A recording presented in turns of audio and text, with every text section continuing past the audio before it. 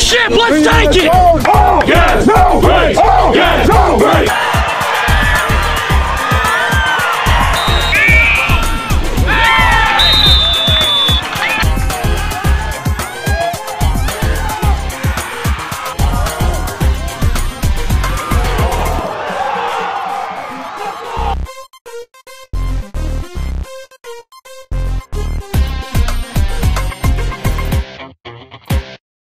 Hello and welcome to the Thresher Football Show. I'm Dan Page alongside head football coach of the Threshers, A.B. Stokes. Bethel College up to 3 and 1 now with a road victory at Avila University, 42 to 26. The Threshers get it done against the Eagles, and it was a 35 to 6 ball game at halftime.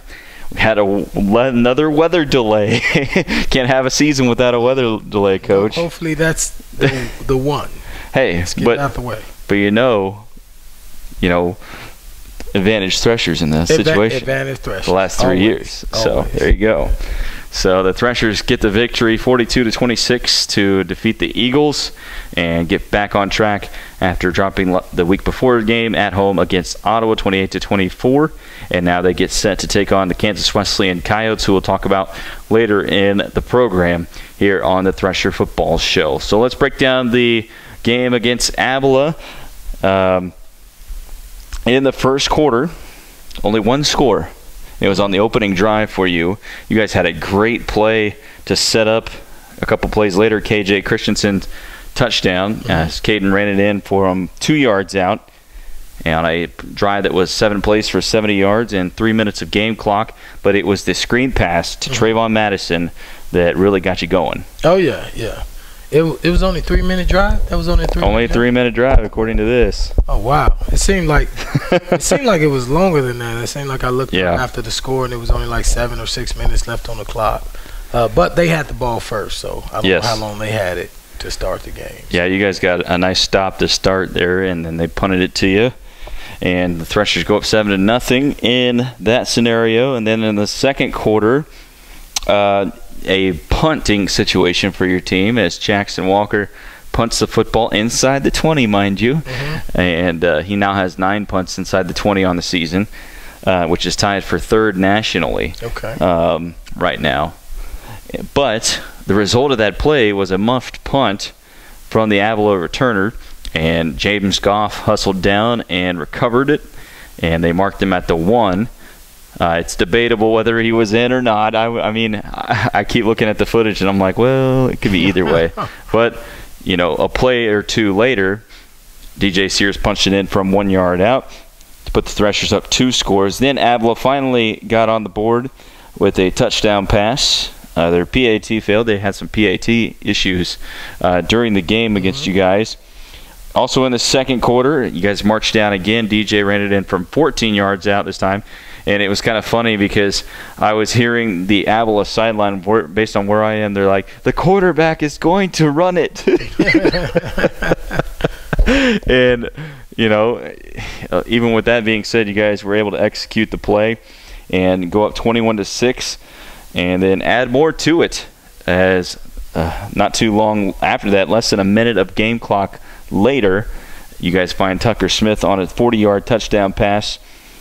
And then uh, yet again, just before half, a 25-yard touchdown pass to Trevon Madison to go up 35 to six at halftime, and one of the most productive first halves this program has seen.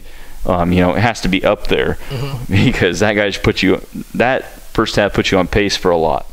Yeah, yeah, it did. But you know, um, we don't even look at it like that. We just want to play good football. Right. Like you just want to play good football consistently throughout a throughout a football game and limit it, limit as many mistakes uh, as we can.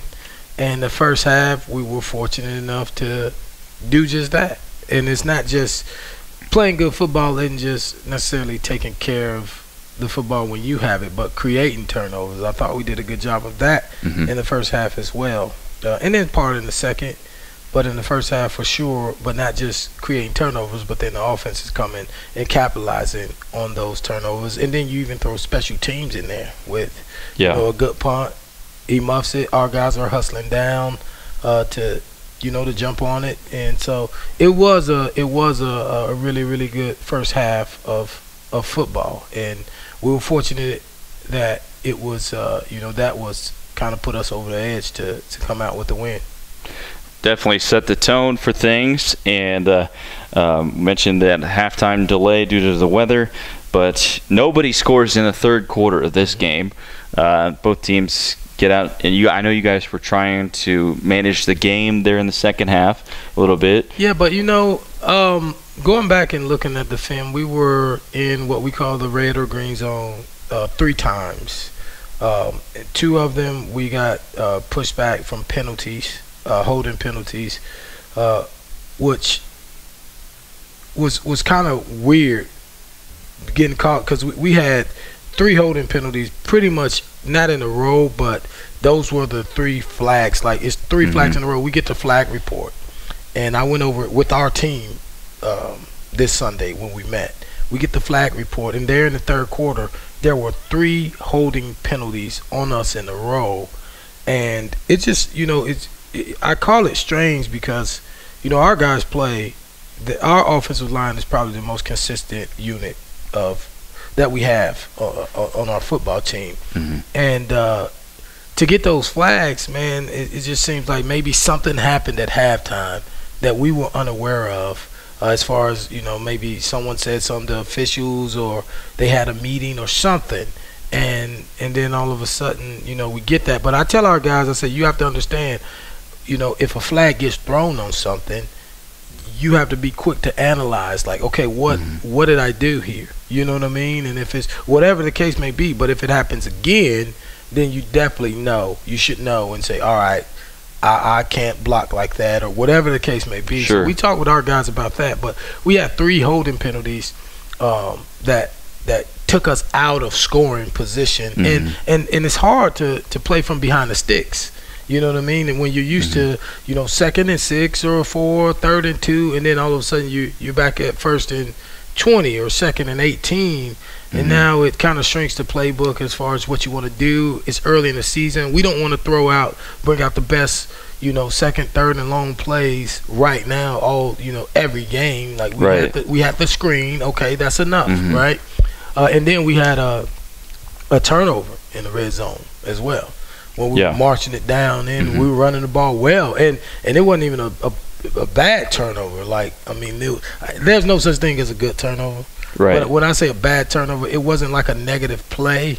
mm-hmm. It, it there was positive yards picked up. I think it was like an eight or nine yard run. yeah, and his knee was back- down. and- yeah, and, and another, you know what I mean? That's I was gonna say that too, and arguably it could have been down. But you know, we talked to our ball carriers, um, and and all we say is, you know, if you hand the ball to the official, they'll never mistake it. So right. um, th- so I feel like when when we talk about the second half, like some people may look and say, "Oh well, you know, you were shut out," or "Oh, you guys didn't weren't as productive in the second half." Well, by way of, uh, I'm trying to think of of the word that I'm, I'm looking for. It, it's just this, like, so we're up Mhm. we become a little bit more conservative. So it's not going to be these expos- explosive plays where you're scoring in one score drives, unless you're just breaking a long run or something like that.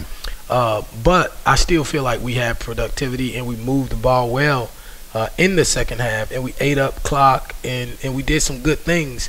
We just there was you know the turnovers and the three penalties that kind of stalled out some drives that could have been uh, potential scoring drives. And, and what we're working on this week, a theme of the week is complete. Right? We want to play this this whole game, this complete game. We want to play to our you know um, to our full capability of, of our, our full potential of, of who we are as a as a program. And uh, and I think Saturday just gave us an opportunity to make that a goal. Yeah, definitely did. Uh, just observation, you know, the the Eagles sideline was asking for that hold in the first quarter, and then all of a sudden in the third quarter you see it. So just a, a matter of uh, convenience on the observation. Um, but to start the fourth quarter, Avila does score on a Eli Williams rushing touchdown, and then um, you guys stall out the next drive, and then they have the football and so, so a play that I don't think you could ever duplicate probably ever happened. Um, you know, Williams goes back to pass and throws to his receiver, hits the receiver in the hands, and then it cr- like crawls over his back, Yes. and then pops up, and then Kade Miller grabs it and it takes off. Like he takes it off his back. It really like- did. I mean, I slowed it down and I zoomed in and everything, Yeah. and uh, I, I was like, "Wow!" Like y- It couldn't be this high off his back. It had to be about what? About a half a foot. Yeah, something like that. But y you know, after the fact, now that I've had a chance to think about it, I'm like, you should be grateful the officials didn't blow it dead Yeah, in that scenario. yeah. They did a good job They of did. Yeah, they did. letting the bull, you know, watching where the ball is it going to hit the ground? Is it going to hit the ground? No. Right. Okay. Yep. And uh, other than one official getting in the way of the return a little Yeah. bit, but that happens. Yep. Um, you know, Kade had a great return and got out of one tackle and then ended up in the end zone of all things for a second pick six of the season Yeah. and uh, a definitely unusual one Absolutely. uh, at that but uh, uh, uh, you know it couldn't happen to a better guy in that situation No, and that's K. And by the way, he was defensive KCAC Defensive Player of the Week. yes You know, uh, rightfully so. He, I thought he played a phenomenal game, and uh, man, he's just a. Kade is just a. You know, he he is definitely a thresher through and through, man, and and and he he's gonna battle week in and week out. He's gonna give you everything he got, and I'm glad that you know he's finding. Uh, success and you know he's he's he's having newfound success like he Mhm. never had a, a pick six or I don't think a touchdown in college yeah now he's got two that's I mean that that I tell you what that's something I, I know when he's sitting around you know with, with his buddies when he's older or his kids if he if he has them that's something he's gonna definitely be talking about so Yeah, yeah, that's what's great is uh, you, you know he'll have evidence of it as well, and that's Oh, what yeah. that's great about the the game today is you have access to all that stuff. yes And uh, yeah, no dash, no doubt, uh, the And- decision to come back for a fifth year was the correct one. yeah and the, the extra footage from you too that's Oh, that's yeah. pretty cool man Yeah, yeah. I mean, it, it's kind of nice to be there and get something right every once in a while. Sometimes uh, I ended up being in the right spot. And I'm like, man, I planned that pretty well. I did not plan it. there, you- uh, Avila adds a couple more scores, but the damage seemed to be already done as the Threshers win at 42 to 26 over the Eagles in Kansas City. Uh, kind of getting, kind of avenging last year's loss at Avila, uh, so to speak. In the ball game, DJ Ciers went eight of nine passing. How about yeah, that? yeah yeah For 141 yards and two touchdowns. Only got sacked once. Didn't throw any interceptions. Oh. He also rushed the ball for two touchdowns and 107 yards on 20 carries. So again, another balanced effort from him and, and giving his all through and through every Yeah. single play. Yeah, for sure. You know, same thing with K, DJ. We got a lot of guys who are just, you know, they they're gonna battle, man. They're gonna they're gonna give a supernatural amount of effort, you know, week in and week out, you know, and then uh, rely on the grace of God, man, to get us through this thing. but we, uh, you know, it, it's something we those guys you just can't. It you you see it on Saturdays, and some people uh, who don't know the work that they put in, you know, Yeah. may may just think that all these guys are just talented or whatever the case may be. But man, guys like DJ K, uh, Tuck, KJ, Scott Grider, the offensive line, the D line, these guys, man, they work really, really hard. They put a lot of um, of effort into training and practicing and lifting and and uh, it's just you know I'm glad that. You know, there are weeks that they get to experience a, a, a good amount of success. Definitely, and it's always challenging uh, at the quarterback position, being a critical thinker every second of the game and Yeah. putting your body on the line so many times, Yes. uh, week after week. Of course, uh, the football season. Uh, other ball carriers, Caden Christensen had a touchdown on 84 yards and 16 carries. Blake Brewer had seven carries for about 40 yards. Yeah. And uh, you guys got a little active with the slots in the running game as well. Uh, receiving, Trevon Madison had three catches for 67 yards and a touchdown. Tucker Smith, three catches for 61 yards and a touchdown. Uh, Jacob Reyes, a catch for 12 yards. And Devont, uh, they gave Devontae Pickard a, a catch. It was actually Jaden Cartwright Okay, had a yeah. catch on that. The, the double numbers still throws off people sometimes Yeah, at the college yeah, ranks. Interesting enough. Uh, for the defensive side of the football, Tate Siebolt leads you in tackling with eight. Kade Miller with seven and an interception, plus a pass breakup. Doug Grider was a monster. Yes. Uh, five tackles, two for loss. Um, you know, Jairo Castillo with the sack, Colton McCarty with the sack. Yeah.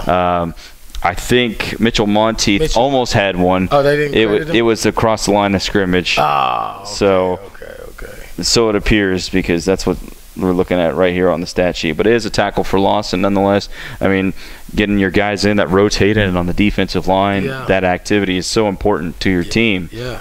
Um, interception wise, I mean, you guys had what? How many in the game? Two between Kade and uh, Garrett Slater with Yeah. Good returns as well. Yeah. And then you had a fumble recovery return. two. Two fumble recoveries. Two fumble recoveries. Yeah, one of them came. They caught the football and they were down the field and they stripped it, and then you guys had an opportunity to run it back a little bit. Yeah. And then I think you guys fumbled it right back to them uh, a play or so later in that scenario. Because I remember thinking a turnover for a turnover. Oh yeah, no, they, they we fumbled it. Did they did they score on their fumble though? Recover? They I- got a fumble. I- I think they might have. guy And, and ran it back. They stripped. I can't remember. backs and ran it back. Yeah. yeah. It could have happened. A lot, a lot happened. A lot has happened since Saturday. Yeah. It, it's kind of crazy. Um, let's see here. Jackson Walker had a 54-yard punt, three punts inside the 20. Mm-hmm. Uh, Carson Sauceda, he's actually up there in the top five or ten in points. Okay. Um, you know, he has 30 on the season. Okay. Um, and for kicking, uh, doing pretty well um, in his sophomore season. So uh, always a humble guy to talk to there on the sidelines. Carson is, and uh, we have some good conversations. But nonetheless, he went six for six on PATs and did a good job with three touchbacks in the kicking game as well. As the Threshers won it 42 to 26. Any final thoughts on the game, Coach? No, I mean I think uh, you know uh, Avila, man, they're definitely a well coached, and they're gonna, you know, I, I know this, man. They they're kind of like like us, and I think a lot of teams in the conference just trying to trying to put it all together at once and play a complete game, you know. And I know, uh, man, this is a competitive conference. It's crazy to see, you know, uh, the scores week in and week out, and you know. Uh, like I think you, you said it, like we're just beating each other up a little bit. You know what I mean? Yeah, everybody's going to get a loss, it seems like. yeah, so it's uh it's just it's it's crazy, man. But uh, much respect to, to them and their coaching staff. Got to meet uh, Coach Alexander. Uh, it's Derek, right? Derek Alexander. Yeah, former Chiefs. Yeah, I got to meet Linebacker. him. Got to meet him. Um, that was that was pretty. Uh, it was a it was it was cool, man. Great guy, man. I'm sure we're gonna we're gonna probably you know get together in the in the off season, uh, Mhm. just on you know just coaching stuff, you know. So it's uh it, that, that was just a cool. It, it was just it was cool. Then we got to go up and stay overnight. You know, our guys, and they, that that's why we fundraise. So if you want to give to Bethel College, you know, I mean? please do because it helps us. You know, give our kids uh, uh, an experience like that. Uh, not having to wake up at, at five in the morning and you know drive three three plus hours on the bus and, and play a game and come right back. So I'm grateful to everybody who, who helps and gives uh, to to Bethel College and uh, you know make make that experience possible. Certainly. Uh, You guys, uh, you know, win at 42 to 26. There were some good games in the conference. Uh, you know, it's just you. You said something to me, and I think you're dead on with it. You said uh, it doesn't matter what the final scores are anymore. It It's just doesn't. who won. No, Because I mean, when you have games like Evangel in St. Mary 59 to 42, that is no way indicative of how good of a team Evangel is uh, for winning that football game. Now, St. Mary, you know, that's pretty something for them to to really perk up about, putting up 42 points against a defense that only given up two touchdowns on the season yeah, at the yeah, time. that was crazy. That was that was crazy, man. Yeah. you just don't know what's going to happen in this conference week Yeah, after sure, week. There's for sure, always a surprise. Um, you know, a game in Salinas, Kansas Wesleyan wins it 35 to 28. They were kind of, you know, playing keep away with the Friends Falcons a little bit. Um, you know, went up as many as two scores, but Friends just kept fighting back and made it within one score, yep. and kept cutting back within one score, and you know, they end up, you know, the, you run out of time in the game, and yep. that's what happened. As the Coyotes win it 35 to 28, Friends gets their first loss of the season, and Kansas Wesleyan, you know, they're two and two. I mean, two lost teams that beat you know a three and one team now. You know anything can happen in this conference. It's uh, it's pretty exciting to watch it every week. Yep. Another uh, cross divisional game, Southwestern at Tabor as the Mound Builders win it 20 to 10, and it was kind of a closer game than some people might have anticipated. But others, you know, it's Tabor is yeah, a, ta- a well coached team. Tabor was up 10-7 at half, I believe. Yeah. Uh, I, I, heard that. I was watching some games as we were driving back from Avila, because uh, you know we played uh, one o'clock kickoff. Yes. So most other teams were in the evening, and I was listening to. I think I was watching Sterling Bethany, and they were they were doing the scores on there, and they were saying saying uh, uh, Tabor was up 10-7 at half. Mm-hmm. But like I told you, man, it, it like it doesn't matter it doesn't matter. Yeah. It doesn't say anything about a pro because any given week, man, these teams, any teams, I'm talking any any of the KCAC teams, man, can can beat any of the others. And I truly feel like that. That's how we coach our guys. Like, look, you just got to be ready. Like, don't don't buy into uh, what a score may be, what a record may be. Mm-hmm. You know, obviously, you can you can kind of say not say we're a victim of it, but you know, going into Ottawa, I'm sure we were probably the favorite. You know what I mean? Mm-hmm. And look at look at what happened. So throw all that stuff out the window. Focus on getting better. Focus on knowing your assignment. Focus on the things that you can control, and let's go play some football. Yeah, compared to years in the past where you just had one team that might have run away with the conference, you know, I think that's kind of definitely transitioned to go by the wayside, um, as it is now in the KCAC. You mentioned Sterling; they win 27 to 20 at home against Bethany. McPherson beats Ottawa 60 to 17. Mm-hmm. And as we mentioned, Evangel winning 59 to 42 in Leavenworth, uh, making the long trip from. Uh, uh, Springfield. Springfield. Yep. I wanted I wanted to say Nixa, but they're not actually from Nixa. They just play it in Nixa right, right. for their home games. So that sets up an interesting week ahead for week or game five, I should say. I'm just gonna say games now because that's that's the way it works. Um, you get too confused. But uh, the Threshers taking on the Kansas Wesleyan Coyotes at six o'clock from Thresher Stadium. You can watch it on the KCAC network. We'll have coverage and I'll be on the call for that one. And it should be another exciting contest between Kansas Wesleyan and Bethel. We'll tell you more about the Coyotes coming up here in the second half of the program. We'll, we'll take a timeout at this point. You're watching the Thresher Football Show. Thresher fans, get ready for the upcoming school year by becoming a member of the Bethel Booster Club. Your membership impacts all athletic programs by paying for experiences last year, such as the Threshbees Award Show, postseason experiences and postseason tickets, the Hall of Fame banquet, enhanced live streaming equipment, new banners in Thresher Gym, equipment for the Gearing Hall weight room, windscreens at Ward Tennis Center, and Thresher Stadium. Be a part of Thresher Athletics history and a booster club that is living out the Bethel College athletics mission by creating life-changing experiences for our student athletes through four levels of membership plus parent and young alumni specials. Athletics is an integral part of the Bethel College experience, and thanks to your support, we look forward to growing our success for the future. Visit BethelThreshers.com slash booster club to become a member today. Welcome back to the Thresher Football Show. Dan Page alongside head football coach of Bethel College, A.B. Stokes. Bethel College 3 and 1 as they get set to take on the Kansas Wesleyan Coyotes, who are 2 and 2, if I'm not mistaken, on the season, coming off a 35 to 28 victory at home against Friends University. As the Coyotes come in, a program that Bethel last year beat for the first time in 14 years, but it's been 15 years since Bethel has beaten them at home.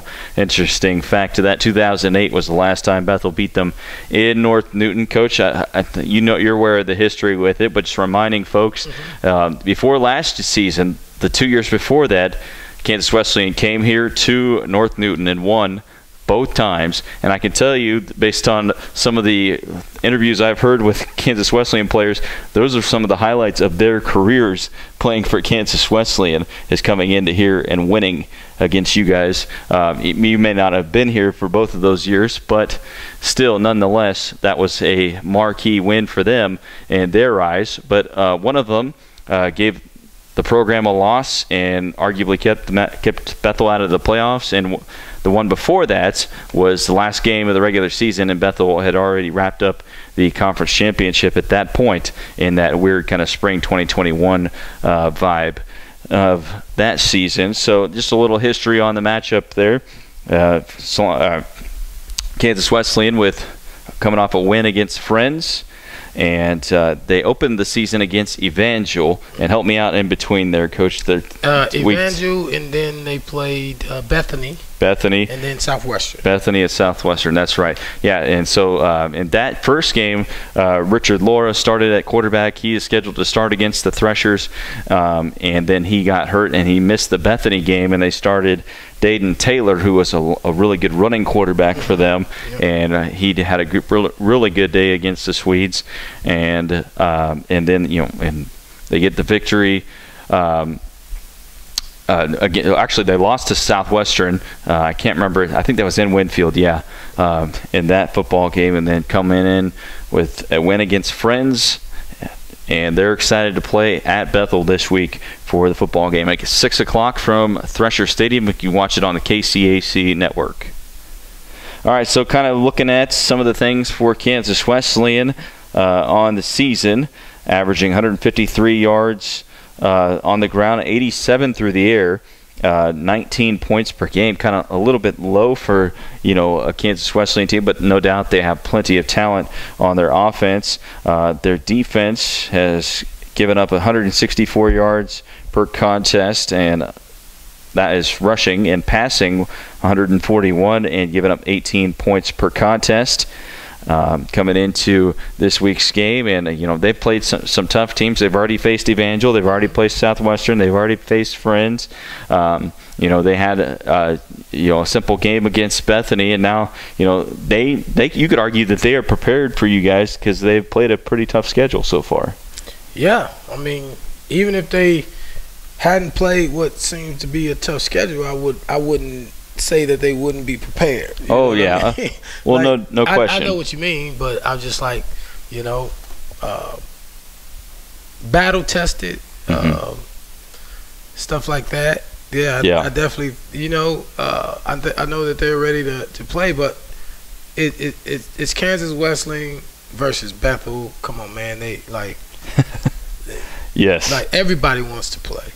Everybody, yeah. everybody wants to play. It doesn't matter you know what what the record what the record is, what the what the score of previous games or like common opponent. None of that matters. Like everybody wants to play. Everybody yeah. wants to play. And it's a marquee game, as it's been the last you know four or five years. Mm-hmm. Uh, for Bethel and Kansas Wesleyan. A few years in a row, it was the national game of the week um, between Bethel and Kansas Wesleyan. I think that was the uh, 2020 and 2021 seasons. Um, and uh, last year, who could forget last year, uh, ended up playing on a Sunday of all things in a crazy environment in Salina. But uh, this year, uh, kind of looking at some of the individuals on the team for the Coyotes, Richard Laura, junior quarterback, he has thrown for 229 yards and one touchdown. Dayton Taylor has also thrown for one touchdown and 60 yards, but he's also rushed for quite a few touchdowns. He has three rushing touchdowns on the year. Nick Alsman back for another year mm-hmm. at running back for Kansas Wesleyan as he's rushed for 190 yards and two touchdowns. Tyler Boston, a senior running back for them, rushed for 200 yards and a touchdown. They kind of spread it out a little bit, kind of giving a lot of guys opportunities. Yeah. Um, here early on in the season. Uh, in the receiving core, Radarius Lomax Spivey has uh, 78 yards and a touchdown catch. Their only other touchdown catch is from their junior tight end, Ricardo Arias. And uh, two passing touchdowns uh, compared to seven rushing touchdowns. Uh, you know, it, the, the, run game's definitely uh, been popular for them. But uh, otherwise, what have you seen from their offense coming into this game? I mean, I think they've gotten like watching their film from you know, week week zero or one to to now, mm-hmm. they they definitely have gotten better and better. And uh, I think they found some things they like to do, especially in the run game. And uh, when when you when you feel like that, man, you have more time to you know to practice those things and uh, prepare for different looks that opponents may give you, and you know so you can feel more confident uh, running your things. And I think that, that that's where that's where Kansas Wesleyan is, is that's either where they're at or definitely moving towards because they you know they they ran the ball really really well the last couple of games and uh, you know they're they're looking good, man. But you know in this conference uh, you got to be able to run the ball to, to really be successful. So them them figuring out things in their run game uh, definitely gives them an opportunity to uh, to compete with, with anybody. Yeah, they definitely have had size on the interior.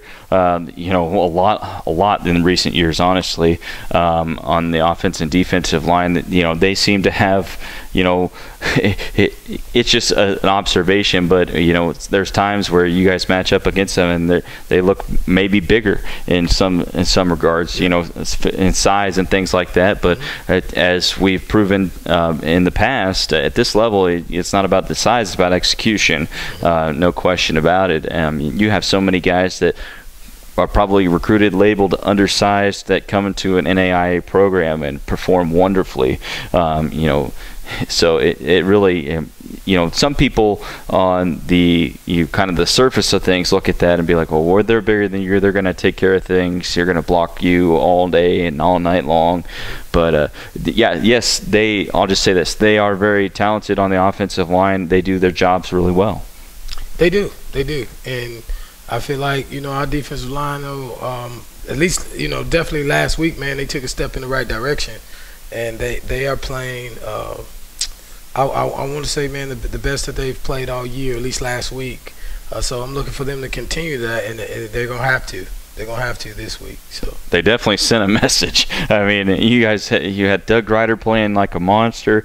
You know, guys like Colton McCarty, Mitch Monteith, and Jairo Castillo, uh, just to name some of those guys. But you know, you can't forget Ernest Ferrier uh, Nobby and Webb yep. as well. I mean, those guys come in and you know they play uh, pretty tough for you guys. Sometimes when the nose of the tackles, you know, they get caught blocked, you know, that frees up something for somebody else to make the play. So that's yeah, absolutely. Uh, so, nonetheless, you guys definitely have that pressure going for you coming into this game uh, against the Coyotes. Um, looking at other things on defense for Kansas Wesleyan. Uh, Rico Moore, a senior, has 39 tackles, averaging 10 tackles per game for the Coyotes. Uh,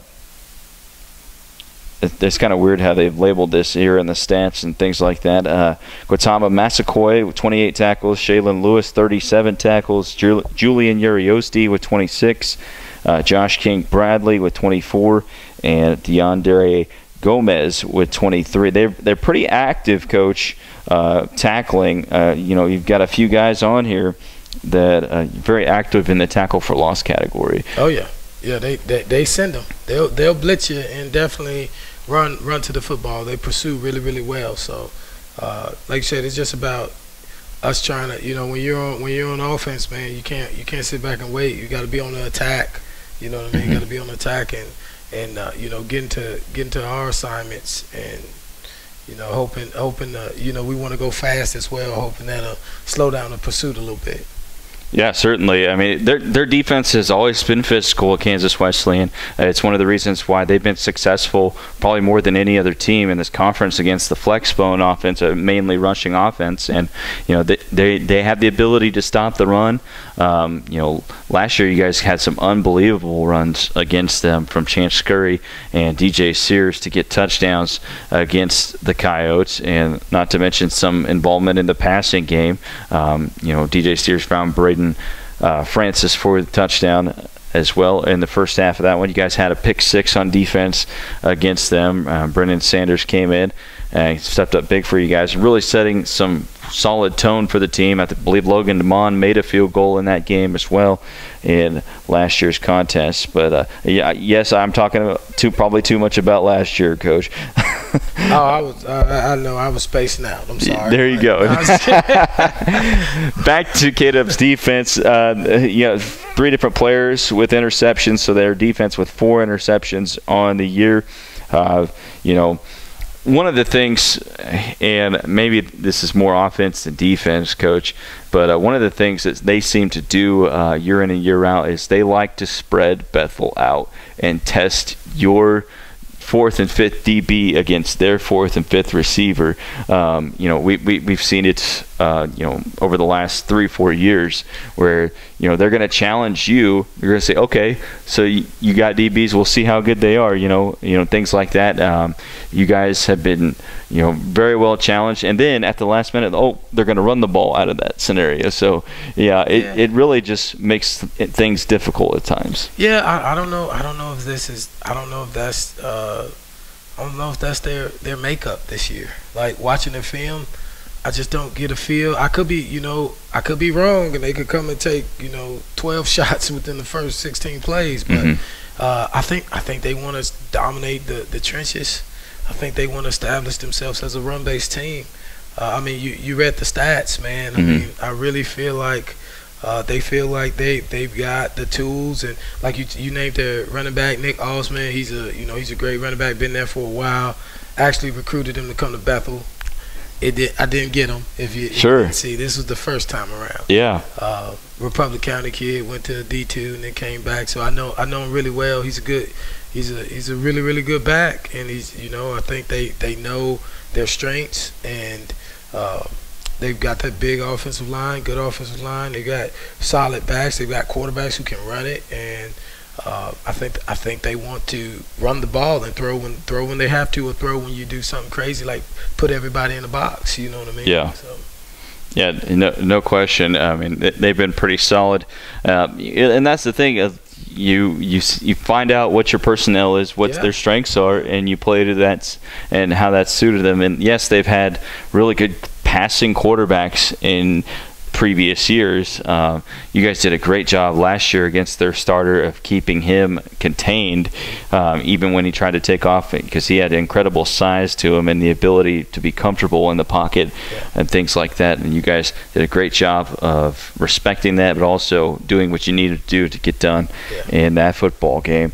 But don't, uh, don't, don't, get me wrong, number nine, he can throw it. Yeah, he can throw it. I, I just think that. Um, I think that their identity that you know it's not it's nothing wrong. It's not a knock and saying like oh they can't do this. I think that they just will they want to uh, you know establish the run because you know it is you know if you can you can run the ball man it doesn't matter weather doesn't play a factor as much mm-hmm. anymore. You know what I mean? Like wind, obviously that's part of the weather, but uh, so just that kind of stuff it doesn't really play a factor if you can dominate the trenches and run the ball. And I just think that uh, it, it looks like, based on you know just four games here, it, it, looks like they want to establish themselves as a run dominant uh, team.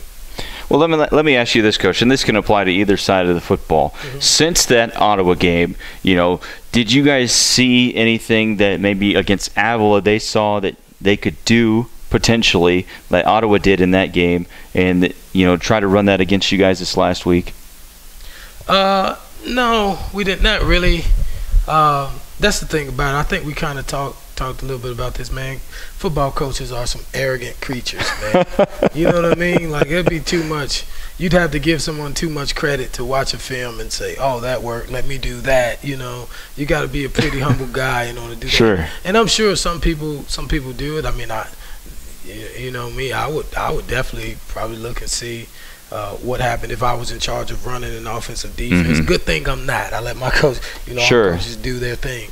But uh, no, not really, man. I think people, uh, because he, here's the thing: if you get into doing that, and this is the problem, this is why we don't see that as much. Uh, because if you get into doing that, and it goes against your identity and who you are, uh, mm-hmm. or your your uh, offensive or defensive philosophy, and you're trying to do something and then that doesn't work, man, those are some long nights. It's like you mm-hmm. you'd rather, you know, you you'd rather ride with the people you came with than to show up to the dance with a whole new crew. You sure. I mean, it's kind of like that. Um, and, and, feeling comfortable because week to week, obviously, you know, like defensively, you have to prepare for different schemes, but you don't change your whole defense. Right. That's why you have packages that you practice all year, mm-hmm. you know, and different things that you practice all year. You don't just change your whole defense uh, for the sake of a scheme. uh, because then you know basically you you only got three days, four days to really practice it and how good are you going to be you want these guys as the season progresses you want it to be like second nature on the calls and the checks and the things that they're making Mhm. so that's why I, I think you know i think if you if if you see a team that kind of does what you know already is doing something similar to what you have implemented then you'll be you know it's more likely that Mhm. oh yeah you're gonna you're gonna get this um, like if, if someone runs a 4-2-5 you know i just say that that's kind of our defense and you know they're they're blitzing the strong safety to the boundary side a lot and having success with it and then we're going up against another 4-2-5 team then it's probably like oh here comes the strong safety again trust me he's coming this week Like, Yeah, you know what i mean they But- have the understanding. Right, to understand. But nobody's gonna. If, if you're a base three four defense, you ain't gonna switch to a, a, a four two five. Right. To, you know, to for the sake of oh, they had success in the four two five. Let's run a four two mm-hmm. five. You know what I mean? So Yeah, and, certainly, at, you know, at this level of the ball, you want to prepare for different schemes that you're going to go up against, Yeah. you know, any time of the year in any week. Yeah, Uh, absolutely. You know, you don't want to be cut off guard at all. No. So um, I, I just had to ask because I mean, you know, you have to think about it from an outsider's vantage point. You know, you know. That people can say, "Oh, you guys lost the game." You know, Right. we're, we're going to analyze that and Right, see what yeah. they did well, and we're going to, you know, could incorporate that Yeah. to some degree. Uh, you, I know. So what you're basically telling me is you acknowledge that that could be a possibility, yes, absolutely. but you know you're sticking to what you guys do. So yeah, kind of, sort of, kind of, sort of that. Sort, kind of, sort of. that. There you go. Yeah. It, it's it's too many gray areas there. and, and there, there has been people who come out, but uh, I'm telling you, I I've, I haven't seen as a coach um, a team, at least against us. We just do we, we do too much offensively. We do too much moving. You know what I mean? And if you watch our film week to week, like you know, one game we may play with a true tight end most of the game. Next week he's an H back. We might go in straight doubles. We might like to run trips this week. So it it, it varies week to week based on what we think they're gonna do. So if they're thinking like, oh, we're gonna play the same way, and Yeah. then they come in and now they were they were preparing for doubles or or a pro set, and we're out in straight trips and open, and that then it's like, oh man, like we're we're in trouble. You know what I mean? So Yeah, I just had to ask, like I said. So, but uh, should be a pretty good contest this week as yeah. Kansas Wesleyan comes to town to take on the Bethel College Threshers again six o'clock from Thresher Stadium. You can tune in on the KCAC network. I'll have the call of that one. I'm doing that, and I'm doing volleyball in the afternoon shout out to volleyball, man. they're on an eight-match winning streak. Yeah, that's so awesome. uh, they they're playing pretty well, and uh, you know I, I mentioned on the broadcast. I mean, you know they they play a, a very tough second half of their conference season. Yes, they'll have some good teams that they'll play in the first half as well, but man, they're going to run through the gauntlet, Yeah. kind of like you guys might in your division. Man, so at- listen, our division is, and, and that, now the other division is, you know, it's it's, it's tough as well. I mean, look Yeah. at the, look at teams. I mean, Ottawa, St. Mary's coming on, Kansas Wesleyan. You know what I mean? Uh, you you never know what you're gonna get. You Yeah. know what I mean? But I look at ours too, and I'm like, my goodness, man. I was looking at somebody's schedule, and it was like, it was like, uh, Southwestern, Evangel, Friends, Bethel, McPherson. yeah, You know what I mean? Beth- Bethany. I'm like, oh my goodness, man. Like, right. like wow, man. Like, whew. I tell you what, it's gonna be exciting though. So I- I'm excited, man. I'm real excited. You know what I'm really, really excited for? Uh, obviously this week, you know, I'm excited to play the game, but I'm excited for the bye week, man.